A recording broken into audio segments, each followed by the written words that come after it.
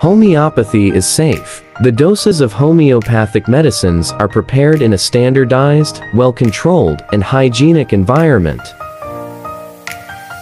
Homeopathic medicines are palatable and easy to administer.